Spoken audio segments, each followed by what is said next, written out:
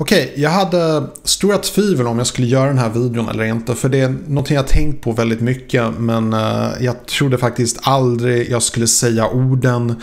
Eller ens göra en video eller podcast om det här. Men jag tycker faktiskt att högskoleutbildningar är överskattade.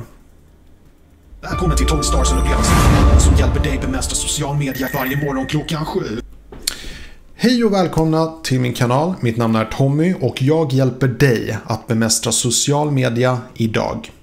Så idag skulle jag prata om det här om eh, högskoleutbildningar. Jag vill först och främst då säga att jag är högskoleutbildad själv. Jag har en examen inom företagsekonomi mot inriktning marknadsföring. Så man kan säga att det här är lite av min grej.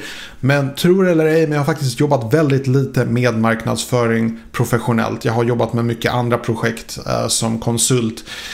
Men så länge som jag minns, min familj har alltid uppfostrat mig till att tro att högskoleutbildningen är så pass viktig att det är det mest avgörande i min framtid.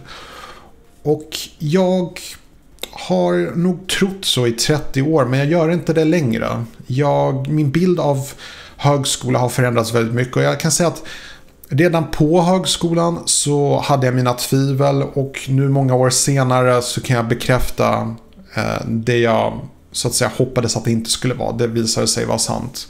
Högskolor är eh, överskattade. Nu lever vi faktiskt i en värld där för att få vissa jobb så måste du ha högskoleutbildning. Så att om din dröm är att bli läkare, då har du inget val. Du måste läsa på högskola. Så är det bara.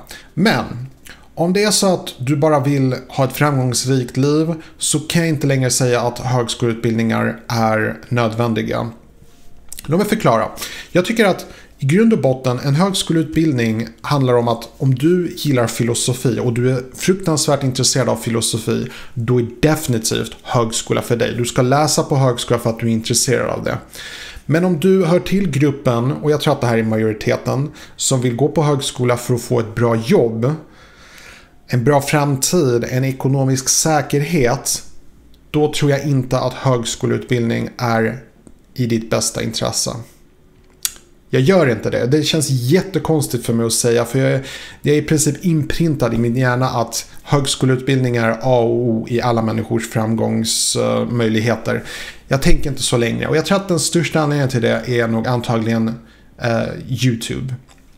Till exempel, för att eh, starta ett företag, säg att du vill starta ett företag. Det fanns en tid då du behövde i princip gå någon slags utbildning för att lära dig starta företag. Idag behöver du en sån här för att googla hur startar man ett företag. Och så har du svaret i din hand. Du får det på några sekunder. Vad du än vill veta, vad du än vill lära dig, allting finns här. Allting finns på datorn. Du behöver inte gå på någon skola för att lära allt det här. Det du behöver, och det, det har jag gjort video om, det, det, som kan avgöra vilka som blir de mest framgångsrika människorna i framtiden, det är de som kan söka information och tillämpa informationen på ett praktiskt sätt. Det är de som kommer vara mest framgångsrika. Och det är det jag uppmanar till dig idag. Vad du än gör, gå inte på högskola. Jag kan inte fatta att jag säger det, men jag, jag, menar det. Om, om du hör till den här gruppen som läser på högskola för att göra en karriär i livet, gör inte det. Kolla istället upp på nätet vad du kan göra inom den inriktning som du är intresserad av att jobba i eller hålla på med. Vad du kan göra. Kolla vad du kan göra för att starta eget. Kolla vilka saker du kan lära dig online i så fall. Förstå mig inte fel, och det här är väldigt viktigt, jag kanske borde ha sagt det väldigt tidigt i videon. Jag säger inte att utbildning är fel. Jag säger bara att det akademiska systemet med högskoleutbildningar och så vidare, det är där jag tycker det blir fel. För att jag, jag gick en högskoleutbildning och jag tog CSN och jag har en studieskuld på typ en kvarts miljon. Och jag håller på att beta av den idag. Och jag kommer antagligen beta av den för resten av mitt liv. Och det känns på något sätt som att jag har gått på det stora tricket. Jag har liksom köpt grisen i säcken. Jag har investerat fem år av mitt liv för en utbildning för att få ett jobb för att betala av min studieskuld. Och det är majoriteten av alla studenter som hamnar i den här situationen. Jag har inget val än att jobba för resten av mitt liv. Men hade jag inte haft en studieskuld så hade jag kunnat sänka min levnadsstandard avsevärt och i princip inte behövt att jobba hela veckan. Jag hade kunnat jobba kanske två dagar i veckan och resten av tiden hade jag kunnat satsa på att starta eget företag eller någonting åt det hållet. Eller självutveckling, vad som helst. Så att det är en väldigt tuff video för mig att göra och jag trodde aldrig jag skulle göra det. Jag trodde aldrig jag skulle säga orden högt, men jag gör det. Högskoleutbildningar är i allra högsta grad överskattade. Speciellt idag, i år, i dagens läge där allt du behöver för att lära dig någonting är en sån här. Och det är den enkla sanningen. Det är min sanning.